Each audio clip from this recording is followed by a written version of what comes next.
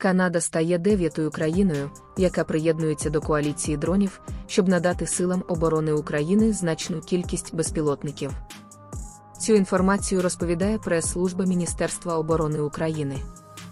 Приєднання Канади до коаліції стало відомо під час візиту міністра оборони Латвії Андріса Спруца до Отави 7 березня.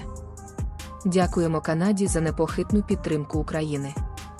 Розширення коаліції дронів допоможе вирішити наші задачі на полі бою. Продовжуємо закликати партнерів долучатися до коаліції дронів.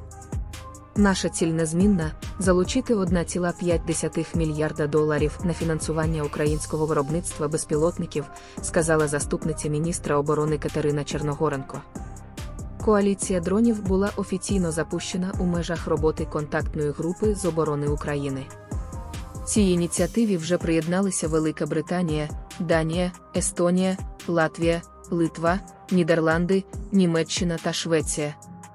Недавно відомо, що міністр оборони Великої Британії Грант США ППС під час візиту до Києва оголосив про виділення 325 мільйонів фунтів на закупівлю понад 10 тисяч дронів для Збройних сил України. Ці средства будуть використані для придбання ФПВ дронів, одна тисяча ударних безпілотників, а також розвідувальних та морських дронів. Військові заходу вважають, що така технологія дозволить Україні здійснити удари на позиції російських сил. Генеральний секретар НАТО Єнс Столтенберг також заявив, що західні союзники планують поставити Україні мільйон безпілотників до 2024 року.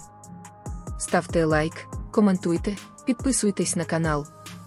Підтримуйте канал фінансово, деталі в описі до відео.